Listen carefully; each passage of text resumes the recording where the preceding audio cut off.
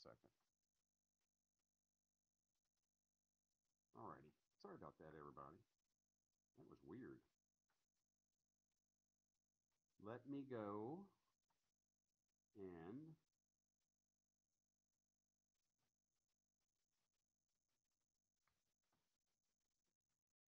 get back to. Yeah, I got to share everything. I know. Can you hear me now?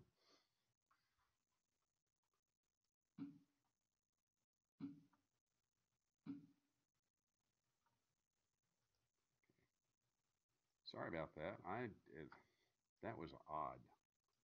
The, the whole room here that I'm sitting in, the lights went blip, and the screen behind me went blip, and now I'm back. That was very strange. Okay, sorry about that. Let us go.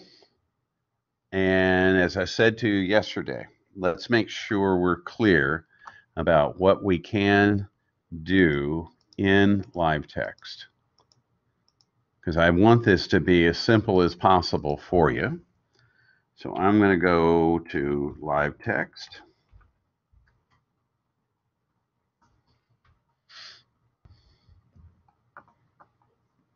You know, they're still they're still building down here. And I would imagine somebody drove over another line.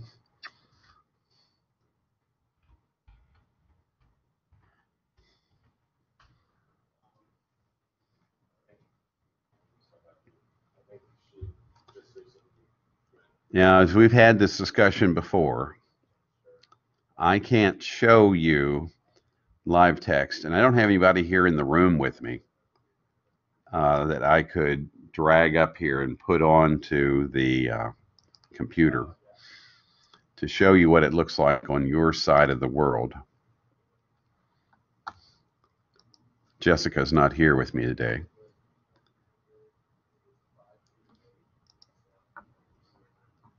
But the the hallmark is very straightforward. Basically, going to come in. You're going to find you're using the template that I have created,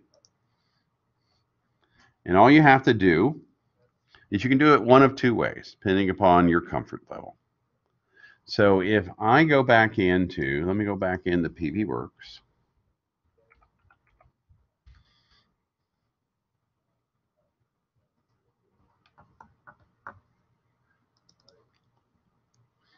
I can either highlight the URL at the top of the page, in other words, where it lives, and I can put that into all four of these.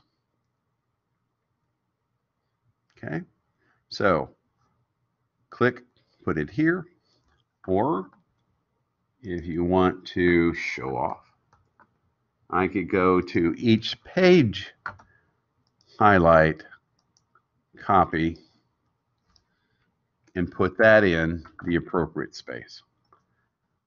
I don't mind either way because once I see it, I'll dive into it and, you know, I'll just look for your pages and I'll go look at the, since there's only what? There's only one, two, three, four pages that I have to look at. So I don't have to do a lot of deep diving around inside your wikis. But don't forget the PLN reflection down here, number five. Again, don't need the great American novel here. Straightforward, simple paragraph works just fine. We're asking that you describe the process and the development of your PLN. What does he mean by that? Well, if you remember the PowerPoint, the one and only PowerPoint I showed you, I had that one slide at the end that was about process. And if you want, I'll put that back up so you can see it. And that process was you become a skimmer, you become a lurker, you kind of look around, you kind of see how things are going. You try things out, they become important to you, so on. Right now, I pretty much everybody is at the stage of being a skimmer or a lurker. Um, what you're going to do is next question. How will you implement your PLN so it becomes a habit of learning and exploring?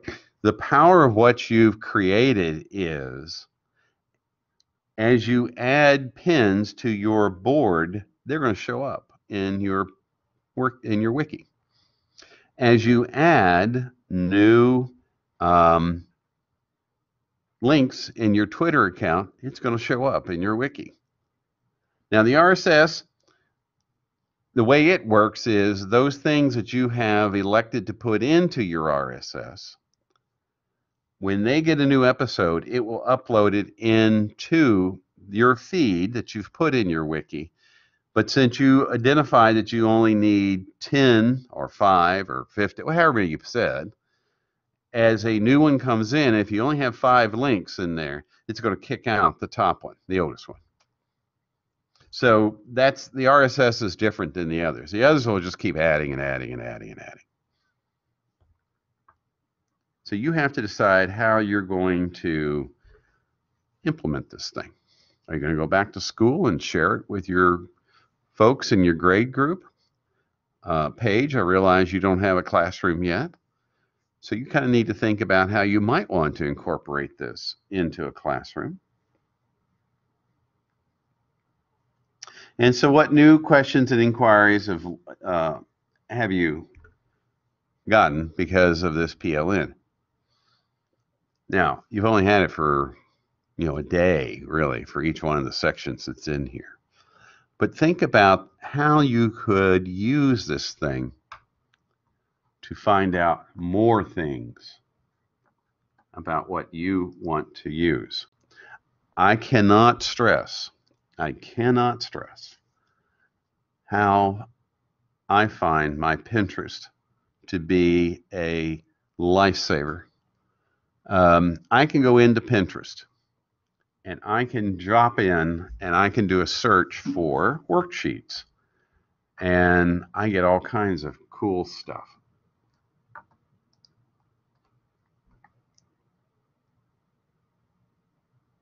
I'm sorry. I, I'm sorry, Paige. I knew you taught at Fairdale. Yes, I was confusing you with another teacher. I apologize. Okay. Um, that's what I've got, guys, for today. Except I have to go back in to go animate and clean out the banner and figure out. Well, I know how the kid is getting in. I, I saw it. He's coming in through the back door.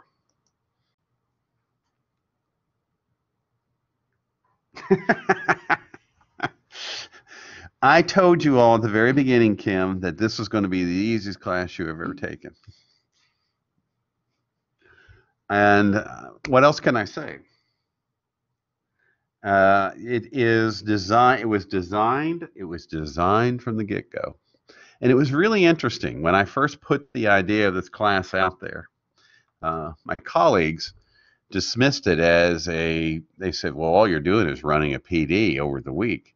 And I said, yeah, that's right. That is exactly what I'm doing.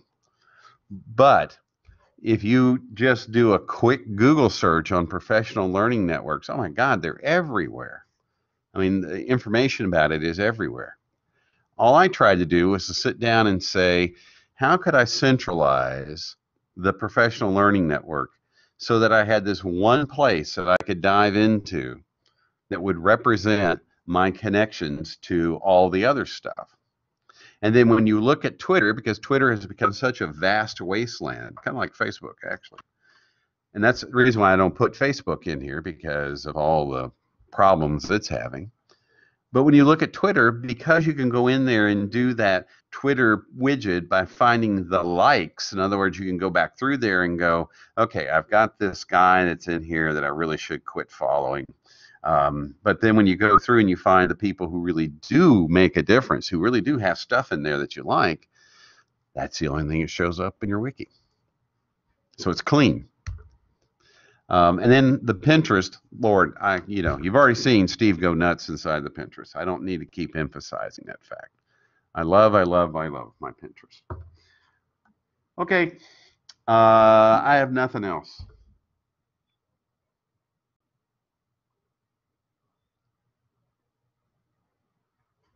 Don't worry about it, Paige. Um, the 585 is is very much up to speed. Very much has the um, videos in it. Last night we talked about uh, TPACK and SAMR, uh, two uh, frameworks for technology integration. Um, I think I talked for maybe an hour on it because it's kind of a heavy lift. It's kind of a heavy lift. Next week, we'll do Universal Design for Learning, which is um, actually a curricular framework. Uh, I'm a big believer in Universal Design for Learning. It pulls in a lot of the disparate pieces that you have heard in any of your classes uh, differentiated learning, all that kind of stuff. Deep inquiry, deep learning, all the stuff that's that's out there right now. Universal Design for Learning talks about that. And you know, uh, is it is it valid? Yes, I think it's very valid. 585 will be creating dun dun dun dun a wiki. Use your PBWorks uh, login. You'll create a new wiki for it.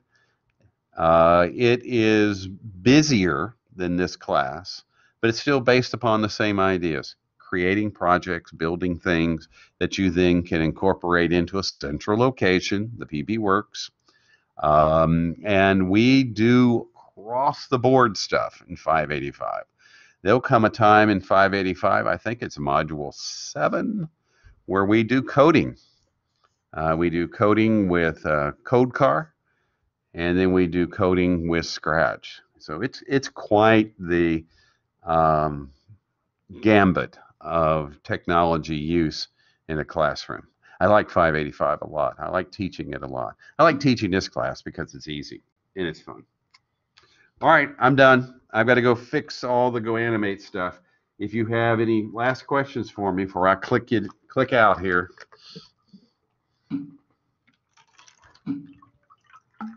We had the one last thought. Uh, last thought is this when is all this due, Steve? You know what? Let me go look at that real fast. Hang on. Don't don't leave me just yet. Let's go look at that real fast. We can look at uh, what the registrar is doing.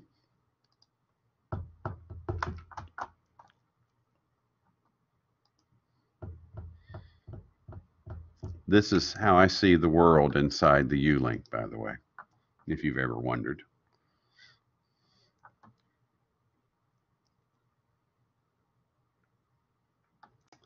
So let's go to class rosters. Let's look for the summer.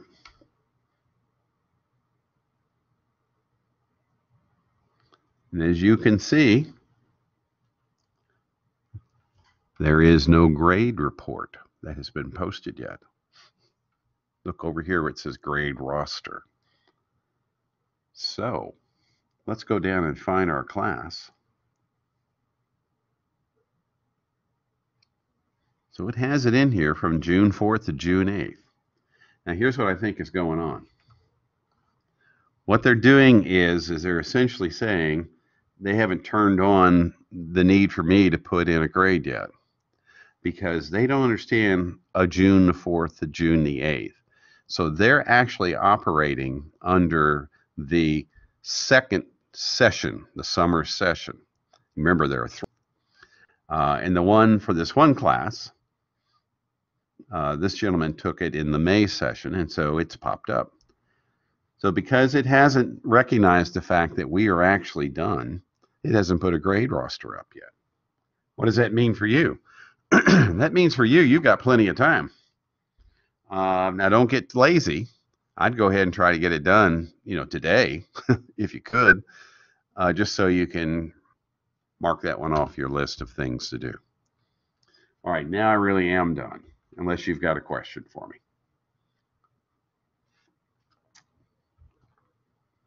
All righty, I'm going to close down the recording and I'm leaving the room. Steve